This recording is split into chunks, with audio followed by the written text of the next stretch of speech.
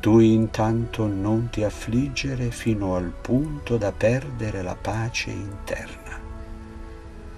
Prega con perseveranza, con fiducia e con mente calma e serena.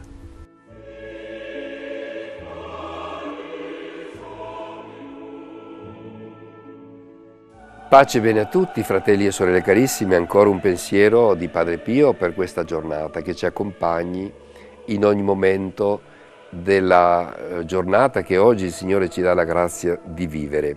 Padre Pio ci esorta a non lasciarci sconfiggere dall'afflizione, dallo scoraggiamento, eh, dall'angoscia che molte volte è allagguato nella nostra vita. Si dice che oggi una delle malattie più presenti nel, nella realtà quotidiana è proprio la depressione.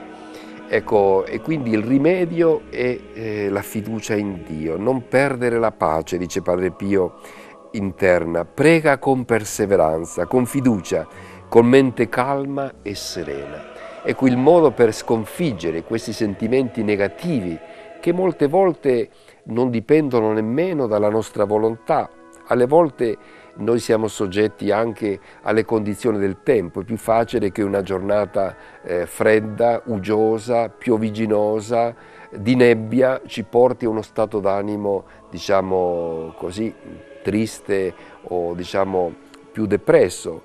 E mentre una giornata di sole splendente, ecco, un cielo blu ci porti alla gioia, ci porti più alla serenità, noi siamo soggetti a questi influssi che non dipendono dalla nostra volontà.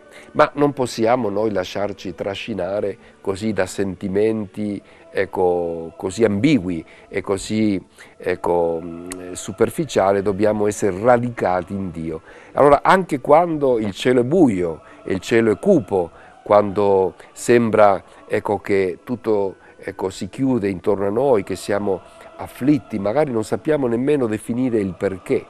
Ecco, il Padre Pio ci esorta a perseverare nella preghiera. È la preghiera e la meditazione che ci aiuteranno a superare quel momento ecco, di crisi, di stanchezza, eh, di sconforto che molte volte anche nell'arco di una giornata ci può cogliere e abbiamo bisogno di una forza che non viene da noi per superarlo. E allora il segreto è quello di essere radicati in Cristo, quello di pregare con perseveranza, come dice Padre Pio, con mente calma e serena, nonostante l'infuriare della tempesta, ecco, l'incalzare dei venti, ecco, nonostante le onde sembrano o sembrino ecco, voler affondare la nostra navicella, siamo chiamati in quel momento a gettare l'ancora della fiducia per non venir meno, per superare quel momento, ecco, per essere sicuri che eh, la bonaccia tornerà, che la calma tornerà, che il vento ecco, si fermerà, che il mare si placherà e che noi ritroveremo quella serenità.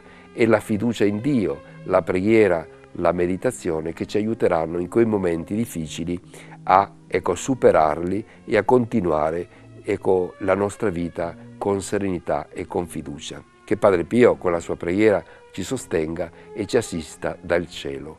Pace e bene a tutti.